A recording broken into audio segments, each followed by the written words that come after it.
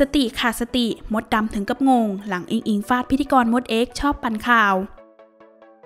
กำลังกลายเป็นประเด็นที่หลายคนจับตามอง และสงสัยกันเป็นอย่างมาก หลังสาวอิงอิงอิงนภัสได้ออกมาโพสต์ต่อว่าพิธีกรชื่อดังท่านหนึ่ง โดยอ้างนามว่ามดเอ็กว่าชอบพูดมั่ว ปั่นข่าวทำเป็นรู้ดีแต่ที่จริงไม่รู้อะไรเลย โดยหลายคนก็ตั้งข้อสงสัยว่าพิธีกรชื่อดังที่เอ่ยถึงนั้น ใช่มดดำหรือไม่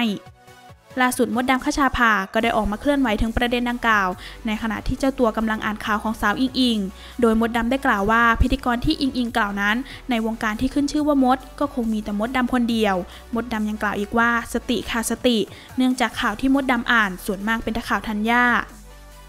นอกจากนี้หนุ่มกัญชัย พิธีกรที่กำลังร่วมรายการ ก็กล่าวขึ้นมาว่า เท่าที่ฟังมามดดำไม่เคยพูดพาดพิงสาวอิงอิงคงเข้าใจผิดว่าพูดถึงเธอหรือเปล่า ซึ่งมดดำก็ยังตั้งข้อสงสัยว่า ตนจะพูดถึงสาวอิงอิงทำไม